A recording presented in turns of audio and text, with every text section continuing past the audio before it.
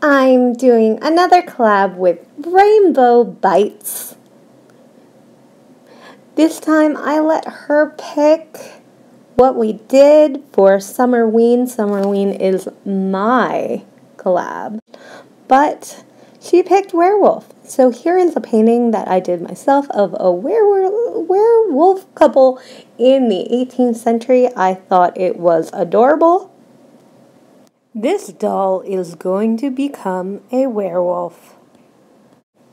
If that doll was the person, his life would flash before his eyes. But this is the doll I'm using today. I have used it before to paint a beard and redo his hair to make a Rhett doll for Good Mythical Morning but this is just a screenshot of what I did before and I will link that video down below if you want to see me actually paint the doll. I'm completely finished! Rain uh, Raiinbow Bitez, here's my wolf doll.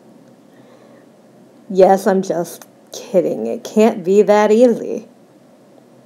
Of course, that is one of my many Beauty and the Beast costumes. Seems like every time I get a big lot, they have a Beauty and the Beast costume in it. But I watch a lot of Netflix documentaries. That is for Rhett because I don't even have Netflix. I had no idea what she was going to pick, what Raiinbow Bitez was going to pick when I let her control this week. We do these videos every two weeks, and it is an open collab, so you can collab with us. The rules will be in the description, but basically you must be subscribed to both of us, make your video, and tell us that you made your video and you will go in the playlist. And please remember to put our channels in the description as well. This is, I bought this at a yard sale.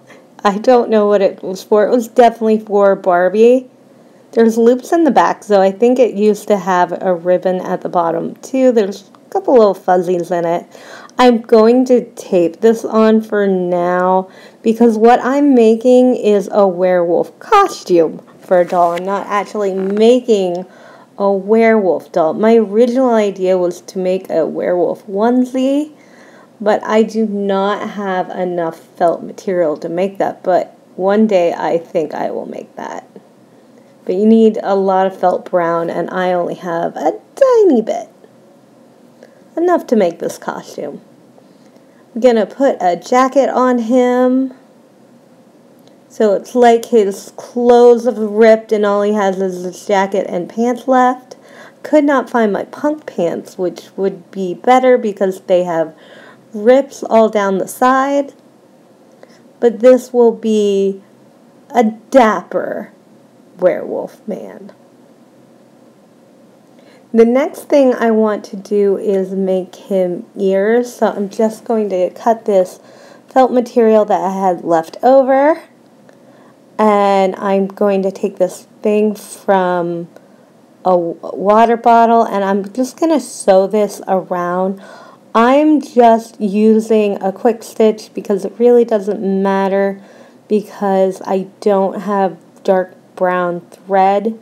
So the stitch part will be in the back so you can't see it from the front. And I'm just sewing around. I'm I trimmed it down a little because then it wouldn't it was a little long after I added earmuffs to it.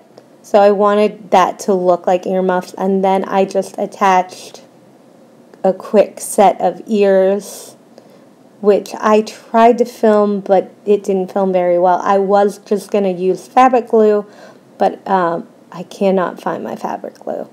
Story of my life. I am very disorganized, but I could find this beautiful faux fur, and this is what I'm using for his tail.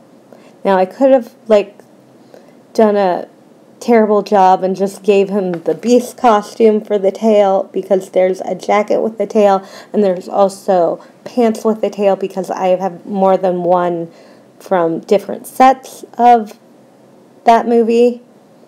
But instead, I wanted to give him a luxurious, fluffy tail, like my dog's tail. he wants to be fluffy. I did want to give him cuffs, but this faux fur material is actually really hard to work with because it's so fluffy, it's hard to sew through. And like that, it just comes out and you have to make be very careful where you're sewing, how you're sewing it. So I decided to next that idea and just keep his tail, his furry chest, and his ears. Because I do make him a very nice set of ears. I'm just going to quickly attach his ears after finishing this tail and my little werewolf costume will be complete. This is him complete. It is a very cute costume.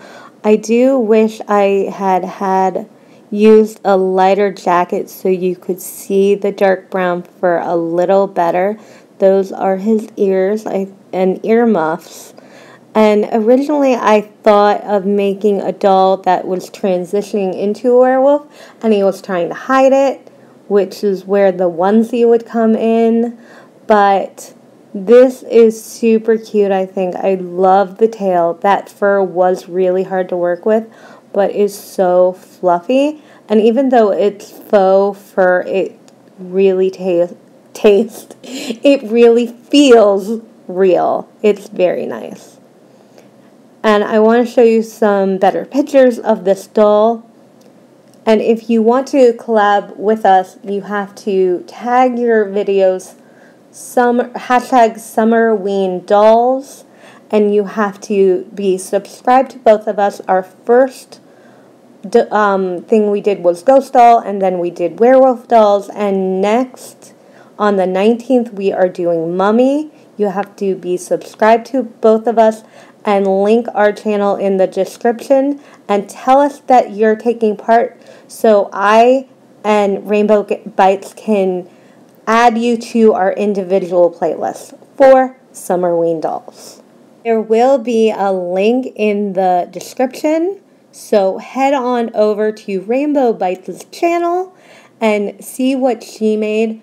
The ghost doll she made last time was amazing. She took the cheapest doll that she could find and made it like crazy cool. And here are some pictures of what I did for Summerween Ghost Dolls. Thank you so much for watching, and please like, comment, and subscribe, and check out the playlist with all of the Summer Summerween videos.